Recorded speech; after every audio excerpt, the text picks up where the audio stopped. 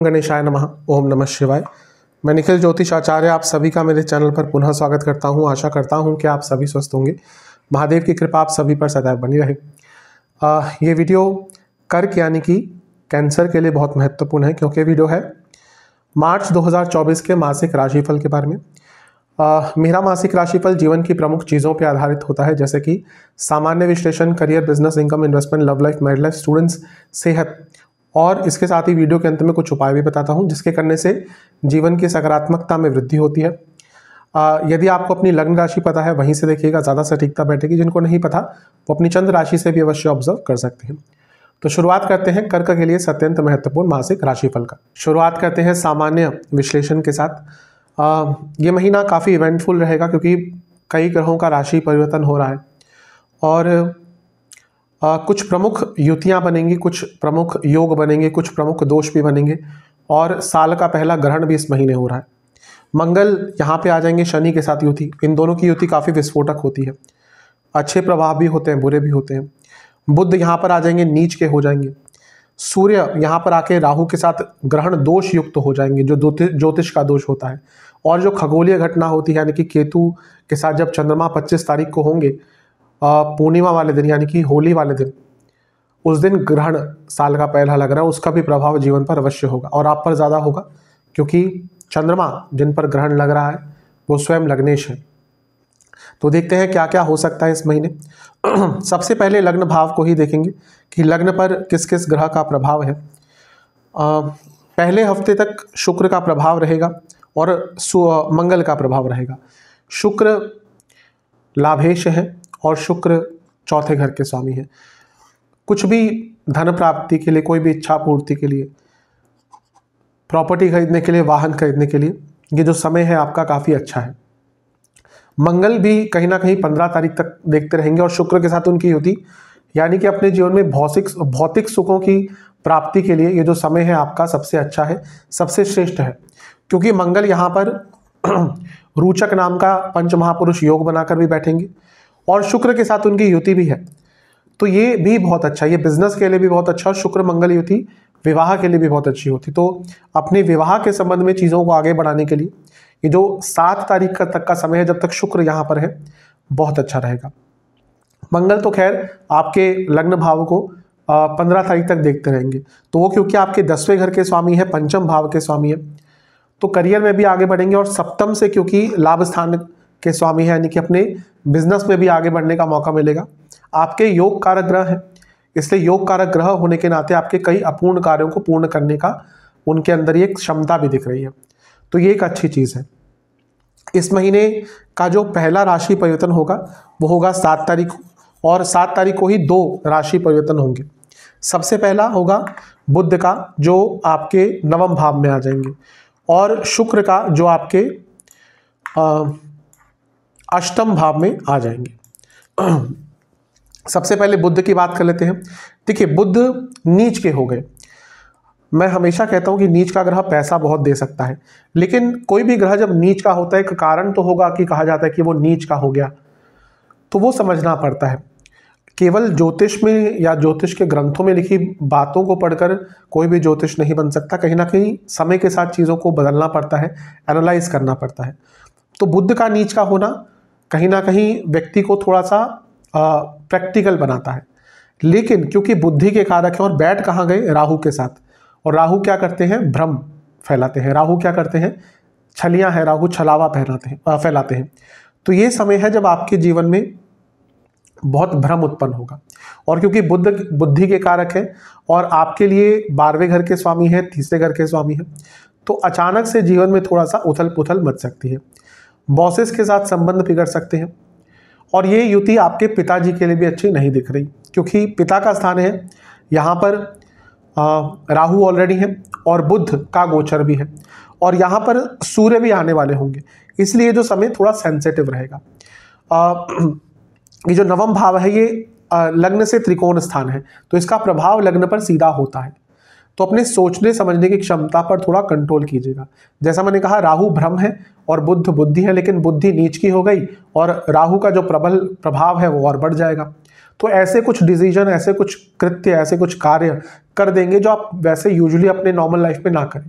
लेकिन यहाँ पर उन कार्यों के कारण आपके जीवन में थोड़ी प्रॉब्लम आ सकती है। ये नवम भाव में राहु का अकेले होना तो बहुत अच्छा है, लेकिन यहाँ पर बुद्ध का आना, नीच का हो जाना और राहु का प्रभाव कहीं ना कहीं थोड़ा सा नेगेटिव रिज़ल्ट देकर जा सकता है। तो थोड़ा यहाँ पर बच के रहिएगा, संभल कर रहिएगा। अपनी वाणी पर बहुत ध्यान आपको इस महीने रखना पड़ेगा। शुक्र का भी राशि परिवर्तन, जैसे मैंने कहा, सात तारीख को ही हो जाएगा। क्योंकि शुक्र अष्टम में आ रहे हैं। शुक्र धन के कारक है। अचानक से बड़ी मात्रा में धन प्राप्त हो सकता है। अचानक से जो मिलता है, धन अकस्मक धन प्राप्ति के योग यहाँ पर बन रहे हैं। शनि के साथ है, शनि शुक्र मित्र हैं। और कहीं ना कहीं एक दूसरे के लिए योग कारक है। आपके लिए भले ही नहीं है, लेकिन इनकी युति कहीं ना कहीं थोड़ी अच्छी मानी जाती है। क्योंकि शुक्र लाभ स्थान के स्वामी है तो ये भी कहीं ना कहीं बता रहा है कि अचानक से लाभ होगा, शुक्र चौथे घर के स्वामी है। एंसेस्ट्रल प्रॉपर्टी से भी आपको यहाँ पर लाभ प्राप्त हो सकता है।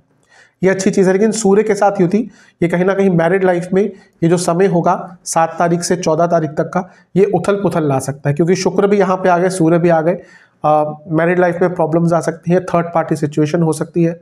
यानी कि दोनों का ही कहीं ना कहीं दिमाग इधर उधर भागेगा। और ज़्यादा चांसेस है कि आपके लाइफ पार्टनर का कहीं इन्वॉल्वमेंट यहाँ पर हो सकता है तो चीज़ें सामने आ सकती हैं। तो थोड़ा सा यहाँ पर कष्टकारी ये चीज़ें दिख रही हैं। मंगल तो ऑलरेडी मंगल दोष बनाकर बैठे हैं तो प्रॉब्लम्स तो कहीं ना कहीं ऑलरेडी चल रही होंगी।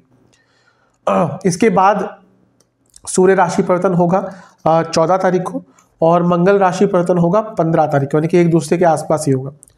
अब सूर्य भी आपके नवम भाव में आकर बैठ जाएँगे।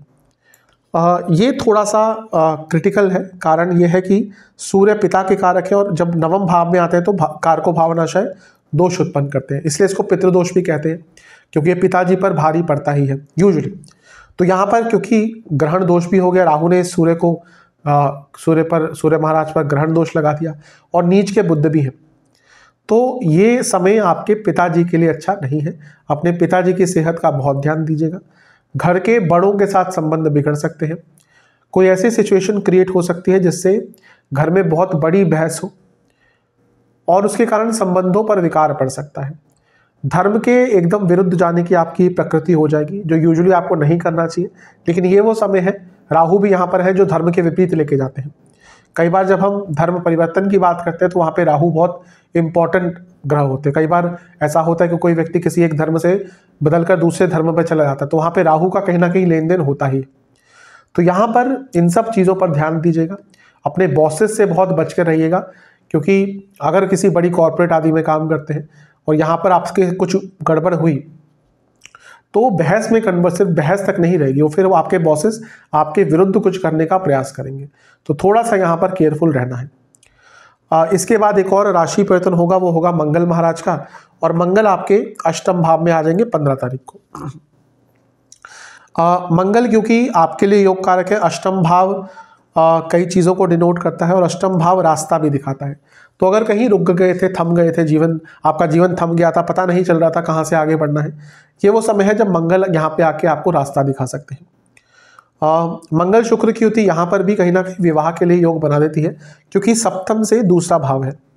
लेकिन ये शनि मंगल की जो युति है ये अच्छी नहीं है। यहाँ पर मैरिड लाइफ में प्रॉब्लम बहुत बढ़ सकती है। ये अष्टम भाव के मंगल मंगल दोष भी बनाते हैं। शनि एक सेपरेटर है तो मंगल दोष की जो एक जो उनकी इंटेंसिटी है मंगल दोष की उसको और बढ़ाएँगे। और शुक्र यहाँ पर है यानी कि किसी और का इन्वॉल्वमेंट जो मैंने कहा था। तो यहाँ पर थोड़ा सा प्रॉब्लम आ सकती है आपके लिए। मैरिड लाइफ के लिए स्पेशली ये समय अच्छा नहीं होगा। बहुत ध्यान आपको यहाँ पर देना पड़ेगा। आ, क्योंकि मंगल यहाँ से लाभ स्थान को देखेंगे तो कहीं ना कहीं धन प्राप्ति के योग तो आपके इस पूरे महीने में अच्छे खासे बन रहे हैं। तो इन सब चीज़ों का ध्यान दीजिएगा। ग्रहण जो लग रहा है 25 तारीख को तीसरे भाव में। अब इसका प्रभाव भी थोड़ा सा नेगेटिव हो सकता है। तो तीसरे भाव का जो ग्रहण है, ये थोड़ा पॉजिटिव भी रिज़ल्ट दे सकता है। पॉजिटिव क्या दे सकता है? जैसा मैंने कहा कि आठवां स्थान रास्ता दिखाता है। वैसे ही आठवें से आठवां स्थान तीसरा भाव भी व्यक्ति को जीवन में रास्ता दिखाता है। तो जो पूर्णिमा पर ये जो ग्रहण दोष लग, ग्रहण लग रहा है, मे भी थोड़ा सा आपको विचलित करेगा, लेकिन एक नया रास्ता आपके जीवन में लेकर आ सकता है, लेकिन इसका नेगेटिव प्रभाव ज़्यादा होगा आप पर। लग्नेश है उन पर ग्रहण लग रहा है। क्या होगा? सेहत। सेहत खराब हो सकती है। एक चीज़ बताना भूल गया, शनि मंगल की होती इंजरी मंगल शुक्र की होती एक्सीडेंट और ये मंगल कहीं ना कहीं एक ग्रहण को भी देख रहे होंगे। तो 25 तारीख से एक हफ़्ता पहले, होलाष्टक ही मान लीजिए, और 25 तारीख के एक डेढ़ हफ़्ते बाद तक बहुत रिस्क फ्री जीवन जिएगा। यहाँ पर इंजरी हो सकती है, यहाँ पर कार एक्सीडेंट हो सकता है। तो थोड़ा संभल कर रहेंगे तो आपके लिए बहुत अच्छा रहेगा। और तबीयत भी अचानक से बिगड़ सकती है। इन्फेक्शंस बहुत हो सकते हैं। होली का समय होगा तो थोड़ा सा बच के रहेगा। इंजरी का योग बहुत ज़्यादा है आपका। और ये वो समय है जब भाई बहनों से संबंध, रिश्तेदारों से संबंध, दोस्तों से संबंध बिगड़ सकते हैं अचानक से। तो इस चीज़ को लेकर केयरफुल रहेगा विशेष प्रडिक्शंस एक्टिव काफ़ी दिख रहे हैं इस महीने होना भी पड़ेगा क्योंकि महीना ही ऐसा है। क्लैरिटी बहुत आएगी इंस्पिरेशन बहुत मिलेगी और कहीं ना कहीं एक आध्यात्मिक चेतना भी महीने के अंत तक आते आते जागृत होगी। संबंधों पर ध्यान दीजिएगा क्योंकि बिगड़ सकते हैं सिर्फ़ बॉयफ्रेंड गर्लफ्रेंड वाला नहीं कह रहा कई लोग होते हैं जीवन में उनसे संबंध बिगड़ सकते हैं। थोड़ा सा अनप्रैक्टिकल अनप्रैक्टिकल रहेंगे कई बार आ, वो मे बी राहु के प्रभाव के कारण राहु और बुद्ध के प्रभाव के कारण हो सकता है। लेकिन कोशिश करना है कि उससे दूर रहिए। क्रिएटिविटी बहुत दिख रही है और इसके साथ ही कहीं ना कहीं आ, एक आपके अंदर क्षमा वैसे भी होती है भावना क्षमा करने की और अगर किसी से कोई संबंध बिगड़ गया था तो उनको क्षमा कर कर आगे बढ़ने का भी ये महीना है। थोड़ा ईगो कम रखिएगा वैसे यूजली ईगो थोड़ा कम होता है कर्क वालों का लेकिन ये महीना है जहाँ पे आपका थोड़ा सा ईगो थोड़ा सा सुपीरियोरिटी कॉम्प्लेक्स ज़्यादा रहेगा उसके कारण भी संबंध बिगड़ सकते हैं। तो इन सब चीज़ों पर अवश्य ध्यान दीजिएगा। चलते हैं नौकरी की तरफ़, यानी कि करियर की तरफ़। दसवें भाव को सबसे पहले देखेंगे। दसवें भाव में गुरु हैं। दो महीने और बचे हैं उनके। और यहाँ पे वो कर्म धर्माधिपति योग भी बना रहे हैं, क्योंकि आपके नवम भाव के स्वामी भी हैं। गुरु जाते जाते बहुत कुछ सिखा कर जाते हैं, अच्छी सीख देकर जाते हैं। लाइफ चेंजिंग एक्सपीरियंसेस देकर जाते हैं। बड़े ग्रहों की विशेषता होती है कि वो एक राशि में बहुत देर बाद आते हैं। तो कुछ ना कुछ अवश्य वो अपनी तरफ़ से और गुरु जैसा ग्रह, जिनका नाम ही गुरु है, यानी कि बहुत अच्छी सीख देकर जाते हैं कि जो दो महीने हैं, अपने करियर को एनहेंस करने के लिए, कुछ नया सीखने के लिए बहुत अच्छा है। यहाँ पे जो नॉलेज अर्न करेंगे तो जब गुरु आपके लाभ स्थान में जाएँगे, जो दसवें से दूसरा है तो अपने करियर के वृद्धि में वो आपको अवश्य मदद करेंगे। दशमेश, यानी कि मंगल, दसवें घर के स्वामी, उच्च की अवस्था में पंद्रह तारीख तक रहेंगे और दसवें घर को देखेंगे भी। तो ये महीना कहीं ना कहीं करियर के लिए एटलीस्ट पंद्रह तारीख तक तो अच्छा दिख रहा है। प्रॉब्लम थोड़ी सी पंद्रह तारीख के बाद आना शुरू होगी। कारण क्या है कि चौदह तारीख को आपके नवम भाव में सूर्य आ जाएँगे। बुद्ध ऑलरेडी आ चुके होंगे सात तारीख को। और शुक्र सात को यहाँ पे आगे होंगे, मंगल पंद्रह तारीख को यहाँ पर आ जाएँगे। अब ये जो भाव होता है नवम, ये बॉसेस का होता है। तो बॉसेस से बहुत प्रॉब्लम्स इस महीने झेलने को मिलेंगी। स्पेशली जो बड़ी कंपनीज़ में काम करते हैं या कहीं पे भी प्राइवेट जॉब में काम करते हैं इवन गवर्नमेंट जॉब भी, क्योंकि सूर्य भी यहाँ पर है तो बॉसेस से बहुत प्रॉब्लम झेलने को मिलेगी। ये स्थान दसवें से बारहवा है। इवन कई लोग इतने परेशान हो जाएँगे कि वो जॉब छोड़ने तक का मन बना सकते हैं। राहु के कारण षड्यंत्र आता है तो आपके बॉसेस स्वयं आपके खिलाफ षड्यंत्र रखेंगे और बुद्ध भी यहाँ पर है, यानी कि कलीग्स भी कहीं ना कहीं बहुत तंग करेंगे। तो ये महीना पंद्रह तारीख के बाद आप खुद ही देखेंगे, बदल सा जाएगा। एकदम सब ठीक चल रहा था और अचानक से बदल सा जाएगा।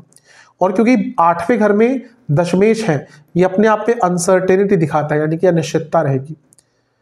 अब दसवें घर से ग्यारहवें में इतने सारे ग्रह हैं तो ठीक है, जिनका दशांतरदशा अच्छा है, उनकी सैलरी वगैरह बढ़ सकती है, लेकिन जिनकी दशांतरदशा अच्छी नहीं चल रही, जो अधिकतम लोगों की नहीं चलती, उनके लिए अनिश्चितता क्रिएट करेगा, और ये समय उनके करियर में थोड़ा सा बाधा युक्त होगा। तो थोड़ा ध्यान देंगे तो अच्छा है, अपने बॉसेस से बहुत बचकर रहिएगा। इवन अपने कम्युनिकेशन पर भी आपको इस महीने बहुत ज़्यादा ध्यान देना पड़ेगा। एक्टिव रहिएगा, क्योंकि गलतियाँ होने की संभावना थोड़ी बढ़ जाती है जब बुद्ध ग्रहण युक्त सूर्य और राहु के साथ हो। तो थोड़ा ध्यान देंगे तो अच्छा है। ग्रहण भी लग रहा है इस महीने और वो 25 तारीख को आपके तीसरे भाव में लगेगा। तो कलीग्स द्वारा प्रॉब्लम दिख रही है और अपने कम्युनिकेशन के द्वारा भी प्रॉब्लम्स आ सकती है। तो ये महीना थोड़ा सा मिला जुला सा ही दिख रहा है। विशेष प्रोडिक्शंस थोड़ा सा अपने संबंधों पर काम कीजिएगा। जो लोग आपको समझते हैं कार्य क्षेत्र में, जिनसे आपकी बनती है आ, उनकी हेल्प लीजिएगा अगर कोई प्रॉब्लम आती है तो। चीज़ें बहुत बदलेंगी और बहुत तेज़ गति से बदलेंगी तो उसके अनुसार बदलना पड़ेगा। You have to be active clarity के साथ काम करेंगे तो अच्छा है। स्ट्रक्चर्ड वे में ऑर्गेनाइज वे में काम करेंगे अच्छा है। और जितना कुछ आता है उसको यूटिलाइज करेंगे तो अच्छा है। जैसा मैंने कहा गुरु यहाँ पर है तो अपने आप को इम्प्रूव करने का मौका भी मिलेगा लेकिन महीना क्योंकि थोड़ा सा अनिश्चितता वाला दिख रहा है तो जितना फोकस और जितना अटेंटिव होकर काम कर सकते हैं उतना अच्छा है। आ, कई बार आप बहुत ओवर एंथुजियास्टिक भी इस महीने हो सकते हैं और उसका भी नेगेटिव प्रभाव पड़ सकता है। तो जितना केयरफुल रह सकते हैं अच्छा है। आ, यदि आप डेटा से जुड़ा आईटी से जुड़ा एजुकेशन कंसल्टेशन से जुड़ा विदेश से जुड़ा इमिग्रेशन से जुड़ा आ, या फिर कम्युनिकेशन संबंधित कुछ भी कार्य करते हैं तो महीना अच्छा जाएगा। चलते हैं बिज़नेस की तरफ़। बिज़नेस के लिए वैसे महीना ठीक ठाक ही है कोई बहुत ज़्यादा बुरा नहीं है। दो तीन नेगेटिव चीज़ें हो सकती हैं, वो मैं अवश्य बताऊँगा। सप्तम भाव कहीं ना कहीं सॉरी हाँ सप्तम भाव बिज़नेस का होता है तो यहाँ पर मंगल रहेंगे, पंद्रह तारीख तक योग का रखें अच्छा है। शुक्र भी है, वो लाभेश है, यहाँ पर बैठकर धन योग बनाएँगे, ये भी अच्छा है। तो ये महीना ओवरऑल ठीक है। बृहस्पति की पोजीशन और बुद्ध की पोजीशन भी देखनी चाहिए। तो गुरु की पोजीशन तो ठीक है। प्रॉब्लम थोड़ी बुद्ध की पोजीशन से, क्योंकि बुद्ध सात तारीख को नीच के हो जाएँगे और राहु के साथ हो जाएँगे। तो यहाँ पर क्योंकि बिज़नेस में पैसा कमाने की एबिलिटी कितनी है आपकी बिज़नेस सेंस कितनी है वो बुद्ध से आती है। तो यहाँ पर जब वो नीच के और राहु के साथ आ जाएँगे, यानी कि कुछ गलत निर्णय आप ले सकते हैं जो आप पर बहुत भारी पड़ेंगे। इवन धोखा भी आपके साथ हो सकता है, धोखेधड़ी हो सकती है, कोई ऐसी डील आपने साइन कर ली जो आगे चलकर मुश्किल में डालेगी। कोई फेक एग्रीमेंट ही बना लिया, कोई फेक डील में फंस गए। ये सारी चीज़ें आपको तंग कर सकती है तो बहुत केयरफुल रहेगा सूर्य भी कहीं ना कहीं यहाँ पर ज्वाइन हो जाएँगे और सूर्य पर ग्रहण लग रहा है। ग्रहण दोष लग रहा है उन पर, बुद्ध के साथ, यानी कि लिखा पढ़ी में गड़बड़ हो सकती है। सरकार से बाधाएँ आ सकती हैं। और इवन कोई आपका एग्रीमेंट कोई आपका जो प्रोडक्ट है। अगर आपका कुछ प्रोडक्ट बेस्ड बिज़नेस है तो उसमें भी कोई बड़ी प्रॉब्लम आ सकती है। इवन अगर आप सर्विस बेस्ड कुछ करते हैं तो सर्विसेज़ में भी कोई प्रॉब्लम आ सकती है। तो थोड़ा केयरफुल रहने का महीना है और ये सब पंद्रह तारीख के बाद ज़्यादा होगा। पंद्रह तारीख को मंगल भी यहाँ पर आ जाएँगे और शुक्र ऑलरेडी सात तारीख को यहाँ पर आ चुके होंगे। अब क्योंकि सप्तम से दूसरा भाव इतना ज़्यादा बली है तो पैसा बढ़ेगा। और शनि मंगल की युति बिज़नेस के लिए अच्छी होती है स्पेशली जिनका कुछ मशीनरी बेस्ड बिज़नेस है कुछ प्रोडक्शन मैन्युफैक्चरिंग बेस्ड बिज़नेस है।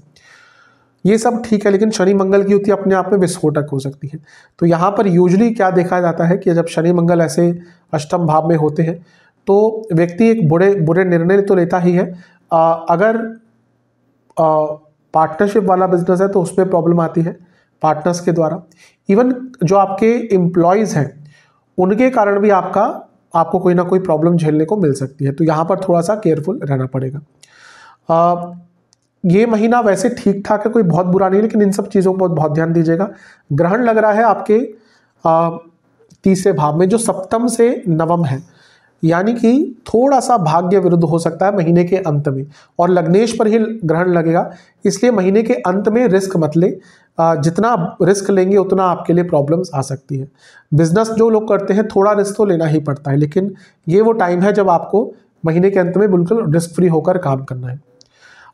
विशेष प्रोडिक्शन पैसा अवश्य आएगा इस महीने। में क्रिएटिविटी भी दिख रही है अपॉर्चुनिटीज़ भी दिख रही हैं। हार्डवर्क भी पे ऑफ़ करेगा।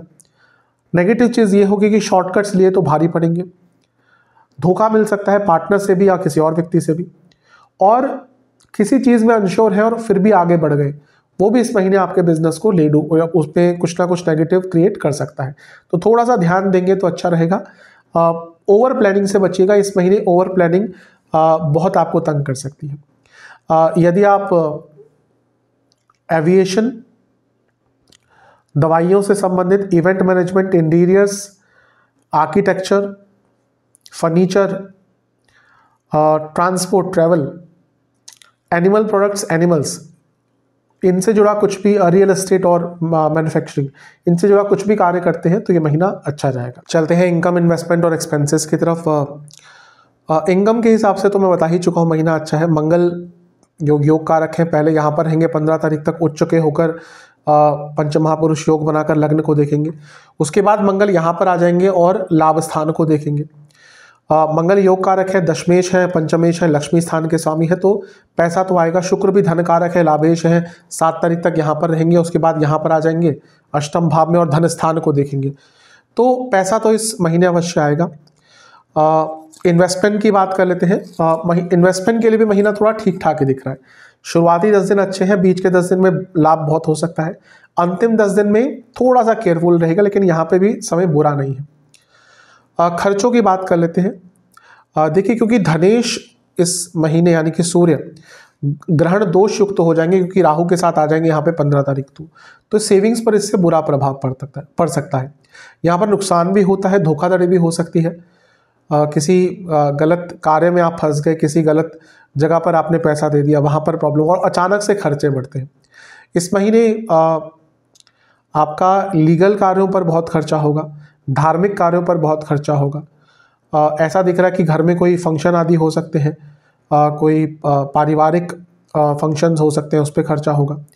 आ, इसके साथ ही घर में मरम्मत करानी पड़ेगी स्पेशली लीकेज आदि या कुछ आ, इस इन सब चीज़ों की डैम्पनेस की प्रॉब्लम आ सकती है उस पर खर्चा होगा। एंटरटेनमेंट में बहुत खर्चा करते हुए दिख रहे हैं। अपने पति या पत्नी अपने या अपने पार्टनर के ऊपर थोड़ा सा खर्चा ज़्यादा होगा। और इसके साथ ही कोई लीगल केस अगर आपका चल रहा है तो उस पर भी खर्चा थोड़ा ज़्यादा इस महीने आपका होता हुआ दिख रहा है। ओवरऑल पैसा आएगा, लेकिन जो खर्चे हैं थोड़ा सा उस पर नियंत्रण रखेंगे तो अच्छा रहेगा। अष्टम भाव, क्योंकि इतने सारे ग्रहों से युक्त तो होगा सूर्य और बुद्ध तो यहाँ पे आ जाएँगे, लेकिन मंगल भी यहाँ पे होंगे, शुक्र भी यहाँ पे होंगे तो इससे कभी कभी बहुत बड़ा खर्चा भी कोई हो जाता है। तो इस पर थोड़ा नियंत्रण रखेंगे तो आपके लिए अच्छा रहेगा। चलते हैं लव एंड रिलेशनशिप की तरफ़। मिला जुला सा महीना है। आ, सबसे पहले नो कॉन्टैक्ट सिचुएशन की बात करते हैं बहुत अच्छा महीना है। ये महीना बहुत ही ज़्यादा शुभ है कहीं ना कहीं। अगर बातचीत बंद हो गई थी तो उनको उन चीज़ों को दोबारा ठीक करने के लिए आ, ये महीना बहुत शुभता दिखा रहा है। इवन नई रिलेशनशिप की भी शुरुआत हो सकती है। बस ये कहूँगा कि क्यों शुरू कर रहे हैं रिलेशनशिप क्या लॉन्ग टर्म है या फिर पीयर प्रेशर है या फिर सिर्फ़ हाँ कोई होना चाहिए इसलिए रिलेशनशिप स्टार्ट करें तो इस पर ध्यान दीजिएगा। अगर लॉन्ग टर्म पर्पज से ही रिलेशनशिप स्टार्ट करना चाहते हैं और वो दिख रहा है, तभी आगे बढ़िएगा। जल्दबाजी में रिलेशनशिप मत स्टार्ट कीजिएगा। अब बात करते हैं जो रिलेशनशिप में ऑलरेडी पंचम भाव सबसे इंपॉर्टेंट होता है, शुक्र की भी स्थिति देखनी पड़ती है। तो क्योंकि पंचमेश मंगल शुक्र के साथ ही होंगे तो इस महीने रिलेशनशिप में इंटीमेसी बहुत रहेगी अट्रैक्शन बहुत रहेगा फ़िज़िकल कंपेटिबिलिटी बहुत रहेगी। ये सब ठीक रहेगा, लेकिन थोड़ी सी प्रॉब्लम ये होगी कि राशि परिवर्तन इस महीने इस प्रकार के हो रहे हैं कि प्रभाव थोड़ा सा नेगेटिव भी हो सकता है। कारण सबसे पहले तो सूर्य यहाँ पर आ जाएँगे बुद्ध यहाँ पर आ जाएँगे, सूर्य चौदह को बुद्ध सात को, शुक्र यहाँ पर आ जाएँगे अष्टम में, सात को, मंगल यहाँ पर आ जाएँगे पंद्रह को। अब क्योंकि शुक्र रोमांस आदि और रिलेशनशिप के कारक हैं और मंगल उस स्थान के स्वामी है, दोनों का एक साथ अष्टम में आना यानी कि थोड़ी अनिश्चितता आ सकती है और इनकी युति शनि के साथ हो जाएगी, जो कहीं ना कहीं रिलेशनशिप के लिए अच्छे नहीं होते। शनि ऑलरेडी आपके पंचम को देख रहे हैं तो एक अनिश्चितता रिलेशनशिप में ऑलरेडी चल रही होगी। अब यहाँ पर उनके लिए ज़्यादा कष्टकारी हो सकता है, जो रिलेशनशिप में थे और आगे बढ़ना चाहते थे विवाह की तरफ़। तो वहाँ पे और ऑलरेडी अगर बात स्टार्ट हो भी गई थी तो यहाँ पे अचानक से कोई प्रॉब्लम क्रिएट हो सकती है। अचानक से कोई बाधा आ सकती है, अचानक से कोई इशू आ सकता है। और इसके कारण रिलेशनशिप में प्रॉब्लम आ सकती है। और शनि का प्रभाव सेपरेटर का काम भी करता है। आप दोनों के बीच में भी मानसिक लेवल पर काफ़ी दूरियाँ आ सकती है। और क्योंकि पंचम से पंचम में ग्रहण दोष लग रहा है राहु सूर्य का, यानी कि कहीं ना कहीं बड़ों के कारण या फैमिली के कारण थोड़ी प्रॉब्लम आ सकती है। देखिए फैमिलीज़ बहुत इंपॉर्टेंट होती है रिलेशनशिप में मैरिड लाइफ में। लेकिन इस महीने कुछ भी ऐसा मत कीजिएगा जिसका बल्कि बहुत ज़्यादा प्रभाव कहीं ना कहीं या इंटरवेंशन फैमिली का हो उसके कारण नेगेटिव इम्पैक्ट एक पड़ सकता है। बुद्ध भी नीच के हो जाएँगे जो पंचम से पंचम में है यानी कि कम्युनिकेशन गैप भी आ सकता है। तो इसलिए मैंने कहा कि थोड़ा सा मिला जुला सा महीना दिख रहा है। आ, अपने पार्टनर को समझने का प्रयास कीजिएगा। कहीं ना कहीं अनप्रैक्टिकल रहे एक्सपेक्टेशन अनप्रैक्टिकल रही तो प्रॉब्लम और बढ़ेगी। क्रिएटिविटी रखिएगा ईगो क्लैशेस बहुत हो सकते हैं थोड़ा ग्राउंडेड रहिएगा। और थोड़ा सा बचपना भी अगर अपने रिलेशनशिप में रखेंगे जो एक फ्रेशनेस होती है रिलेशनशिप के शुरुआत में, अगर वो वापस रखने का प्रयास करेंगे क्रिएट करने का प्रयास करेंगे तो अच्छा रहेगा। यूजली यही प्रॉब्लम होती है कि रिलेशनशिप में जब हम आते हैं तो कस्मे वादे, प्यार, मोहब्बत सब रहता है, लेकिन उसके बाद चीज़ें धीरे धीरे करके वो फेड हो जाती हैं और उसके कारण प्रॉब्लम्स आती है। तो वो फ्रेशनेस कहीं ना कहीं वापस आएगी तो अच्छा रहेगा। चलते हैं मैरिड लाइफ की तरफ़ मिश्रित सा ही महीना दिख रहा है। सप्तम भाव में क्योंकि मंगल है, मंगल दोष बनाकर बैठे हैं और उच्च के मंगल यानी कि और उग्र, लड़ाई झगड़े चल ही रहे होंगे। शुक्र के साथ मंगल की होती, कहीं ना कहीं, मैं पहले ही बता चुका हूँ इंटीमेसी के लिए अच्छी होती है। लेकिन यहाँ पर हम मैरिड लाइफ की ज़्यादा बात कर रहे हैं तो थोड़ी प्रॉब्लम दिख रही है। प्रॉब्लम और ज़्यादा बड़े कारण क्या है कि मंगल अष्टम में आ जाएँगे। बुद्ध यहाँ पर हो जाएँगे, सूर्य यहाँ पर हो जाएँगे, लेकिन प्रभाव मंगल का ज़्यादा बुरा रहेगा। अष्टम में और शुक्र भी यहाँ पर आ जाएँगे। मंगल और शनि की जोड़ी अच्छी नहीं होती, विस्फोटक जोड़ी मैं इसको कई बार कहता हूँ। और शनि क्योंकि सप्तमेश है और उनका मंगल के साथ युति अच्छी नहीं है।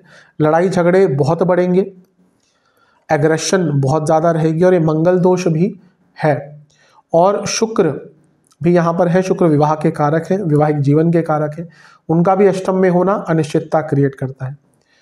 और भी अगर हम देखें तो बुद्ध क्योंकि नीच के हो गए, और बुद्ध सप्तम से छठे घर के स्वामी है, और सूर्य के साथ उनकी युति भी हो रही है। तो इवन जिनका वो एक आखिरी स्टेप पे थे कि हाँ डाइवोर्स की तरफ़ ही बढ़ना है कहीं ना कहीं ये वो महीना है वो चीज़ें जो लीगल प्रोसीडिंग्स है वो स्टार्ट हो सकती हैं। तो ये महीना बहुत अच्छा नहीं है मैरिड लाइफ के लिए। प्रॉब्लम्स काफ़ी बढ़ सकती हैं स्पेशली जिनकी दशा अंतरदशा अच्छी नहीं चल रही। कुंडली में भी बहुत बुरे योग बने हैं। मंगल दोष है अष्टम बहुत प्रभावित है सप्तम बहुत प्रभावित है शुक्र वक्री है। उनके लिए कहीं ना कहीं ये महीना ज़्यादा कष्टकारी रहेगा। कुछ विशेष प्रोडिक्शंस मेरी तरफ़ से। आ, समझने का प्रयास कीजिएगा टाइम बिताइएगा। टेंशन रहेगी, लेकिन आपको उसमें रिएक्टिव नहीं होना। थोड़ा अपने पार्टनर के लाइफ पार्टनर के नज़रे से भी सोचेंगे अच्छा रहेगा। कई बार लाइफ मैरिड लाइफ में यही प्रॉब्लम होती है कि हम अपने नज़रे से ही सोचते हैं और लाइफ पार्टनर या पार्टनर के बारे में नहीं सोचते या उनके पॉइंट ऑफ़ व्यू को नहीं सोचते। तो यहाँ पर थोड़ा इस चीज़ पर ध्यान देना पड़ेगा। इन लॉस के साथ या इन लॉस के कारण प्रॉब्लम आ सकती है। और इसके साथ ही पुरानी बातों पर बहुत झगड़े होंगे। और कई ऐसी बातें जो पहले भी झगड़े का एक मुद्दा बन चुकी है, उन्हीं बातों पर भी इस महीने बहुत बात झगड़ा हो सकता है। तो थोड़ा सा केयरफुल रहेंगे अच्छा है कम्युनिकेशन पर बहुत ध्यान दीजिएगा। चलते हैं स्टूडेंट्स की तरफ़ एग्ज़ाम से स्टार्ट करते हैं। शुरुआती दस दिन ठीक है, लेकिन यहाँ पे सेहत साथ नहीं देगी। बीच के दस दिन भी अच्छे हैं, अंतिम दस दिन में मानसिक स्थिति बहुत बिगड़ सकती है। तो यहाँ पर इस महीने मुझे, वैसे भी मैं देख रहा था अभी, कि ज़्यादा जो प्रॉब्लम दिख रही है आपके संदर्भ में स्टूडेंट्स के लिए, वो सेहत फ़िज़िकल और मेंटल सेहत दोनों ही कहीं ना कहीं साथ नहीं देगी। वैसे स्टूडेंट्स की बात कर लेते हैं, पंचमेश, पंद्रह तारीख तक राजयोग बनाकर बैठेंगे। अच्छा है, लग्न को भी देख रहे हैं कॉम्पिटेटिव एग्ज़ाम्स के लिए अच्छा होता है। मंगल अष्टम में आ जाएँगे जो कहीं ना कहीं पंचम से, क्योंकि केंद्र है तो ठीक है स्टूडेंट्स के लिए इतना बुरा नहीं होता। जो रिसर्च बेस्ड स्टडीज़ करते हैं, उनके लिए और भी अच्छा होगा। प्रॉब्लम है बुद्ध का नीच का और राहु के साथ ग्रसित हो जाना, ग्रहित हो जाना। क्योंकि बुद्ध स्टडीज़ के कारक है, बुद्धि के कारक है, वो यहाँ पर आकर नीच के भी होंगे, राहु के साथ भी होंगे, सूर्य भी यहाँ पर आ जाएँगे। तो ये महीना ऐसा है कि आपसे गलतियाँ बहुत हो सकती हैं। आपका ध्यान नहीं रहेगा फोकस नहीं रहेगा, चिंतित बहुत रहेंगे और सरकारी कार्यों में एडमिशन आदि में भी कुछ बाधाएँ कुछ पेपर वर्क में प्रॉब्लम आ सकती है। इसलिए थोड़ा मिश्रित सा ही महीना स्टूडेंट्स के लिए दिख रहा है। बहुत अच्छा तो नहीं कहूँगा।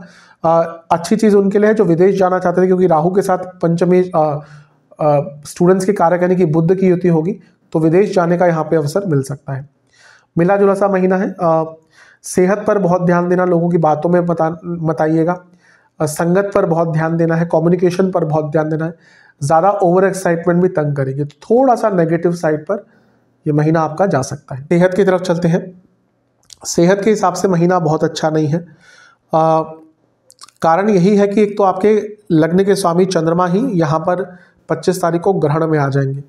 तो लग्नेश का ग्रहण में आना आ, सेहत पर प्रभाव डालता ही है। और कहीं ना कहीं 25 तारीख को यानी कि उससे पाँच दस दिन पहले और पाँच दस दिन बाद इसका प्रभाव बहुत ज़्यादा रहेगा। अचानक से कुछ तबीयत बिगड़ सकती है। सूर्य जो इम्यूनिटी के कारक है, वो भी यहाँ पे आकर ग्रसित हो जाएँगे। राहु के साथ ग्रहण दोष में आ जाएँगे। और अष्टम में इतने सारे ग्रहों का आना, जिसमें आपके योग कारक ग्रह भी होंगे, शुक्र भी होंगे तो ये महीना थोड़ी उथल पुथल सेहत में चलती रहेगी। जिनकी दशा अंतर दशा अच्छी नहीं चल रही है ऑलरेडी कुंडली में अच्छे योग नहीं है ऑलरेडी सेहत अच्छी नहीं रहती उनको बहुत ज़्यादा केयरफुल रहना पड़ेगा। यूजुअली कर्क वालों की सेहत आ, बहुत ज़्यादा ख़राब नहीं कहूँगा लेकिन आ, इनकी इम्यूनिटी अच्छी नहीं होती। जल तत्व का लग्न है इन्फेक्शंस कफ रोग ये बहुत ज़्यादा होते हैं। तो इस महीने भी बहुत ज़्यादा केयरफुल रहना पड़ेगा। क्या क्या रोग ज़्यादा तंग करेंगे? हड्डियों के रोग हार्मोनल डिसऑर्डर आँखों की प्रॉब्लम नसों की प्रॉब्लम इंटेस्टाइन की प्रॉब्लम पेट के रोग लिवर की लिवर की प्रॉब्लम बालों से संबंधित प्रॉब्लम नेत्र विकार, ये बहुत तंग करेंगे। शुरुआती दस दिन में स्किन डिसऑर्डर्स नसों के रोग और आँखों की प्रॉब्लम बीच के दस दिन पेट के रोग इन्फेक्शंस कम्युनिकेबल डिजीजेस नेत्र रोग और ईएनटी e की प्रॉब्लम और लिवर संबंधित रोग। और अंतिम दस दिन में जिनको डायबिटीज़ है, ज़्यादा ध्यान दें, नींद ढंग से नहीं आएगी। और इसके साथ ही दांतों के रोग तंग कर सकते हैं। अब बात करते हैं उपाय की। दो सरल उपाय आपको करने हैं। शिवलिंग पर 21 बेलपत्र चढ़ाने हैं। हर बेलपत्र पर एक चंदन का टीका अवश्य होना चाहिए और दूध से अभिषेक करना है और महामृत्युंजय का और ओम नीलकंठाय महामंत्र का 108 बार 108 बार जाप करना है और मंदिर में कुछ शिव चालीसा की पुस्तकें दान करनी है। ये उपाय कर लेंगे, आपके लिए महीना अच्छा ही जाएगा।